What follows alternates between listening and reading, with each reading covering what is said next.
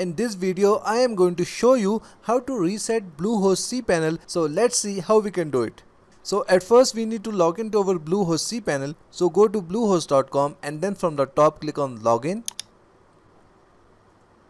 Now here you need to enter your Bluehost username and password and then again click on login. And this will take us to the Bluehost portal now to access our Bluehost cPanel from the left menu we are going to click on advanced. And in this way we will be redirected to our Bluehost cPanel. Now at first we are going to delete all the files from our cPanel so let's see how we can do it.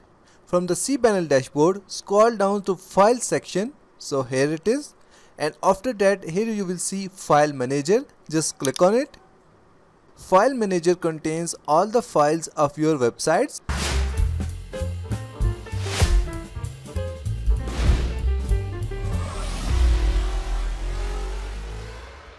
Now to delete all the files from the top just click on select all and after that from the top click on delete button and then click on confirm and in this way your all the files will be deleted.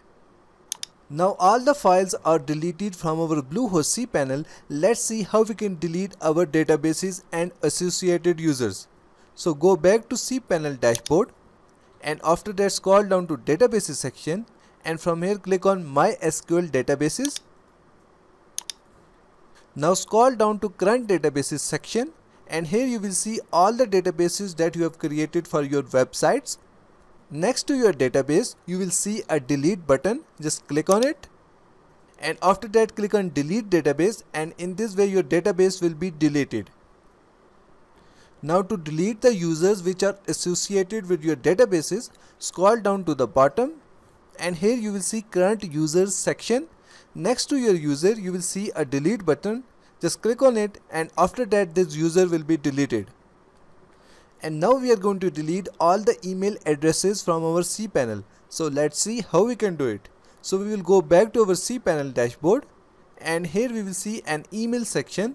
So under it we are going to see email accounts. So we are going to click on email accounts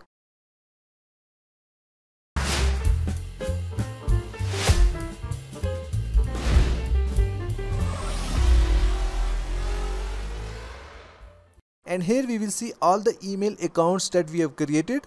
So to delete our email account, we are going to select it and then from the top we are going to click on delete button and in this way our email account will be deleted. And now at last we are going to delete all the FTP accounts from our cPanel. So we will go back to our cPanel dashboard again and after that we are going to scroll down to file section. So here it is and here we are going to see FTP accounts. So we are going to click on it and after that we are going to scroll down to FTP accounts. So here we are going to see all the FTP accounts that we have created. Next to your FTP account there will be a delete button. Just click on it and your FTP account will be deleted. So this is how you can reset your Bluehost cPanel. That's it for today. Thanks for watching. Please like and subscribe.